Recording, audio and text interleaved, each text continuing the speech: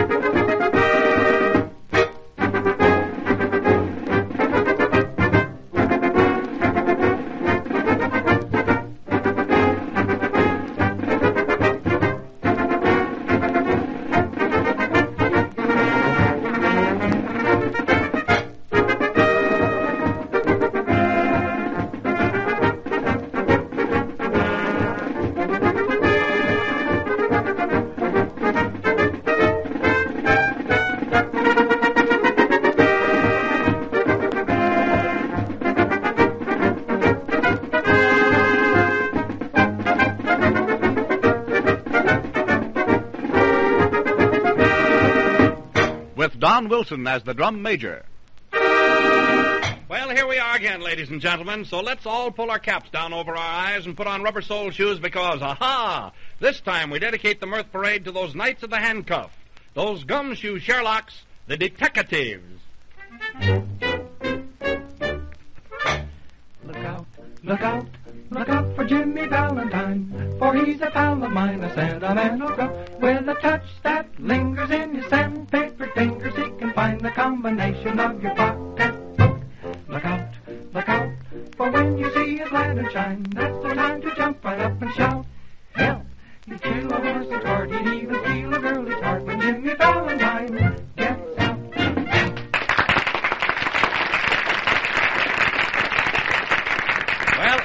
to detective headquarters and we find Secret Service operative number K9 at work on a case. Operative K9, for your information, otherwise known as Yogi Yorgesson, loves making arrests. He has arrested thousands of criminals. In fact, we find the good Yogi in a state of arrested animation himself. Yogi Yorgesson. How do, ladies and gentlemen? You are listening to Yogi Yorgesson, the Hindu mystic. Uh, with the aid of the crystal ball, I am answering your questions over the radio. Looking into the magic crystal ball today, I see that the Ku Klux Klan held its annual clan bake yesterday. Uh, the clan is getting back to nature. Uh, they are getting closer to their tarred and feathered friends. Uh, the clan bake of the Ku Klux Klan wasn't much of a success. Uh, too many dumb clucks. Uh,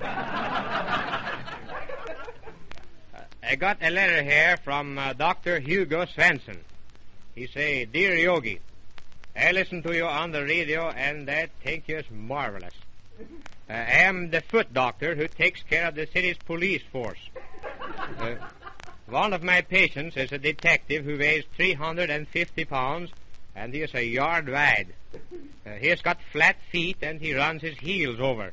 Uh, I don't know what to do to cure him of his flat feet. Can you tell me? Well, Dr. Svensson, I am taking a squint into the crystal ball. Uh, so you take care of the feet of the city's police force. Well, you certainly live on the flat of the land. Uh, you say this here cop weighs 350 pounds? That sounds like a lot of bull to me. Uh, you say he was a yard wide, too. Uh, yeah, I catch on now. All bull and a yard wide. Uh, his heels run over? Well, that is the way it should be. It says so in the scriptures. Your cop run it over. Uh, I see in the crystal ball that you can't do nothing for him. You can't do nothing for a flat-footed cop. Uh, even when a policeman puts his best foot forward, it usually falls flat. now, ladies and gentlemen, the great yogi conclude uh, with a prayer of India, a prayer like a breath of spring. Allah, Allah, Allah Toses.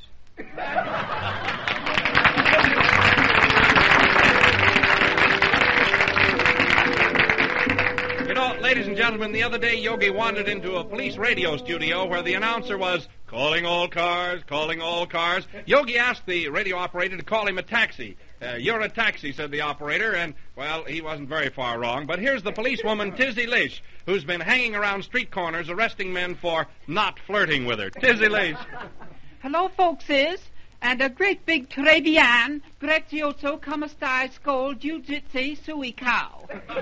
My, it's wonderful to have control of the languages like that, isn't it? Well, I had quite a time today, and speaking of time, it seems only yesterday when I patty caked with President Lincoln. Well, let us forget time, will we? You know, I'm in such constant fear of being kidnapped that I have to have a detective with me constantly. I received a letter from a gentleman saying he would like to whisk me away. Well, he didn't exactly say whisk me away. He said he would like to do away with me. Isn't that ducky? So as I say, even as I stand here, I'm filled with beer, fear. But I guess it's just one of the little problems that confront a beautiful girl these days, isn't it? And as I lay my silken tresses on my dresser, pardon, my pillow each night, I lie there like a startled spawn. And I finally fall to sleep, and I'm in the arms of Morpheus. Of course, that's just an expression. My, I wished it wasn't. So as I say, don't long to be beautiful like me. Now, I've received so much mail. Mail, my, that word sounds interesting, but I must go on. I feel that instead of a recipe, I must answer one or two letters from anxious ones. One young lady writes and says, You are so beautiful. I would like to see you on the stage in a love scene. Well, I would like to say that so would I. In fact, I second the motion, if you know what I mean. Now, another girl writes for advice and says, I am a salesgirl in a department store, and when my sweetheart leaves me each night, he kisses me. But I'm so bashful I never know what to say. Now, what would you say, Miss Lish? Well, if I was a sales girl, I would say, Will that be all?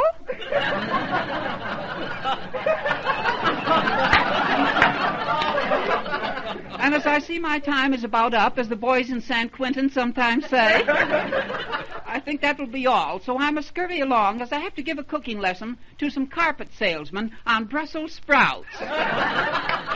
So I'll leave you as the dentists always say at parting.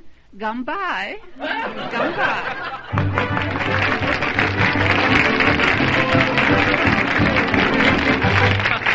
You know, ladies and gentlemen, Tizzy Lish saw a man swiping a handful of peanuts the other day and arrested him for impersonating a policeman. Well, here we are back at detective headquarters where we find the chief of the Arkansas Hillbilly Detectives, Bob Burns, who came to the city hunting for a crime wave. He said that he found so many crime waves that that made him seasick. Bob Burns. I, Don, I kind of thought maybe these people would like to hear about an uncle of mine down in Arkansas. You know, all his life he was awful slow about catching on to things. He couldn't seem to grasp an idea. They say he was 14 years old before he learned to wave bye-bye. You know, when, when, when he grew up, he used to drink four quarts of moonshine every Saturday night, and he wouldn't start feeling it until the following Tuesday. One Tuesday, my uncle busted into a large meeting over the general merchandise store, and they threw him out. He went back in, and they threw him out again. Then my uncle went out in the woods and sat on a log and studied over it for three days. Suddenly he jumped to his feet and he says, I know why they threw me out of there. Because they didn't want me up there, that's why. so, so he checked up on it and found out that that really was the reason why they threw him out. And then he says to himself, now if I can figure out things like that uh, in three days, there's no end to what I can deduct if given the proper time. So uh, he took a correspondence course on how to be a detective. It is a regular three months course, but my uncle was so interested in it that he studied on it for seven years. Finally, he got his diploma and he left home to go out in the world and get some practical experience. Three months later, we got a telegram from him, and it says, "Am in the Blue Ridge Mountains on the trail of the Lonesome Pine." Well, my uncle came back home and he made him made a name for himself when he arrested the local pretzel maker for making crooked dough. See? So uh, they elected him town constable. And the first day in office, he got a bulletin from St. Louis offering a re- reward for the capture of an escaped convict up there. On the bulletin was uh, four pictures of the convict: a picture of the right side of his face, one of the left, one of the front and one showing the back of his head. Three hours later, my uncle sent a wire to St. Louis, and he says, I have three of your men, and I'm on the trail of the fourth.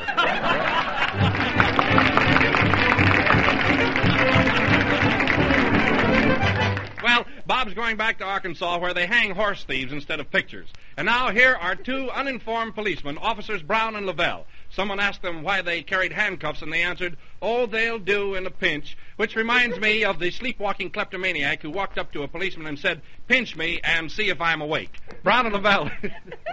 Hey, honey, what's the big idea of your impersonating a police officer? what do you mean impersonating a police officer? You ain't fooling anybody. I saw you standing in front of that fruit stand, helping yourself to the bananas. oh, quit your kidding. You know, I, I believe I'd like to be a police officer at that. Oh, don't I, me. like to be a detective. well, you are. I'm a detective? Oh, I beg your pardon. I thought you said defective. if you were a detective boy, you'd be hard boiled. what makes you think that? Because I'd keep you in hot water all the time. No, no, no. I'd be different. I'd be a gentle and polite detective. You'd be a polite detective. Tell me, mm-hmm. dear, would you give people a chance to remove their hats before you hit them on the head? I, I wouldn't hit anybody on the head. no, sir. We wouldn't hit anybody on the head. We? Where do you get that we stuff? Well, detectives always travel in pairs, don't they? like kippers. well, you're you're safer in a crowd, aren't you? Is that why you married me? No, no. I married you for your disposition.